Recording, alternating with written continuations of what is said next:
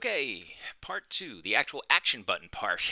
we spent most of the time the last time around talking about this toggle button, so I didn't really get to the press me. The well, the action button happened a little bit. Um, let's see, do I need a separate action button? I don't know. I think maybe that was okay, but let's do something a little bit more interesting with the action button, just in case. All right, just in case, because now it uh, didn't really feel like it accomplished much of anything. So the action button got pressed, and nothing really happened. It did this look around. It said, oh, it's dark, or you can see something here. All right. So let's say, all right, well, what should happen? Uh, maybe we have something exciting. We could say, oh, if distance, or if vector 2 distance, and well, distance between what? Now, the thing that moves around potentially is we have, well, the object that we're on, potentially, right? If distance, and it would say transform dot position, okay? That's going to be the first thing, transform dot position, and then we want to compare to what is the thing that we're comparing it to. Now, uh, did we have it? Sound to play.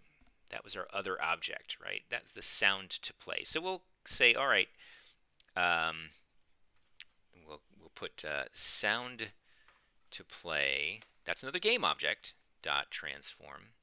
Dot position. Okay.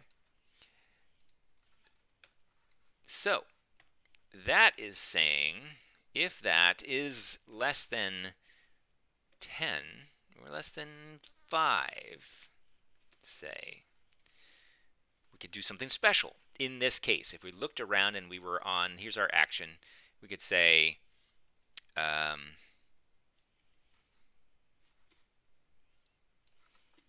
watch this, ready? And I'm going to add to the text here, plus, and say slash n, that gives me a new line.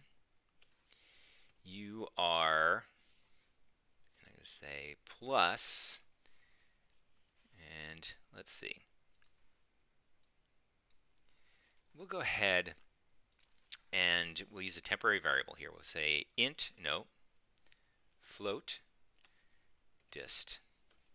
And we're going to say dist equals that. Okay. And we're going to say you are dist away from the sound. All right. So now, in this case, we've already connected the buttons and so on. But we can do something, hopefully. Let's see. And press me. Oh! I'm pretty close to the sound. So let's go to the scene to see this. So let's see, okay, here's the sound, and here is the game manager.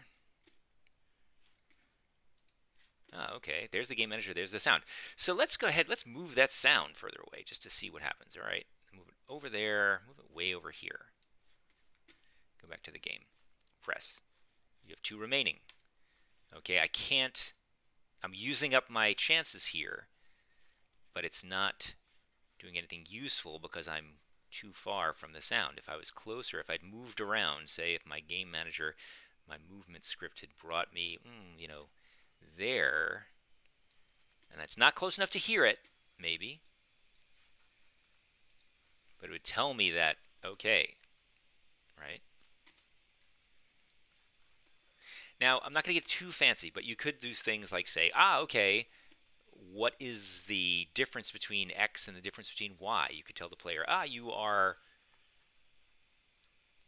two meters south of the object and three meters west of the object if you wanted to tell them where they were when they hit that action something like that you know so you could you could get closer and i'm going to leave that to you know to your discretion um, you don't have to get too fancy but I'm going to leave some room in there for people who want to kind of stretch their programming skills, perhaps. Okay. So these are the sort of things you know. It's it's really it's up to you. I'm leaving it kind of open ended because this isn't game design, but it's game programming. So now you have all of the pieces to say, oh, okay, now I can do something interesting. Okay, I can have some state. I could have potentially multiple buttons. I could have hidden objects that are only visible when you're using your radar. Um, you know, maybe there's a sound that's only playing when the when the uh, this button is toggled, perhaps. Right? So use your imagination a bit. Right? These are just the building blocks. Now, I do want you to use your imagination. You're not going to be, you know, too penalized, or not really penalized for how good the quality of your game is at this point.